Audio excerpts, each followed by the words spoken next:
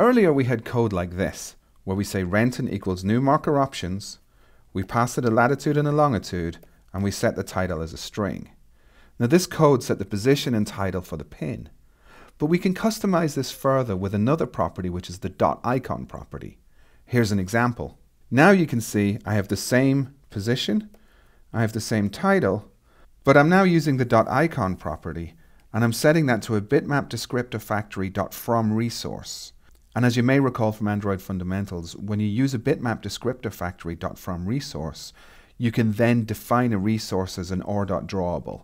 And I'm just using the basic R.drawable.ic launcher, which is the default icon that comes with Android Studio projects. And it's an icon of a little Android himself. So just to keep things simple, I'm not adding a new icon to this application. I'm not adding a new icon to this sample. I'm just using one of the ones that's built in.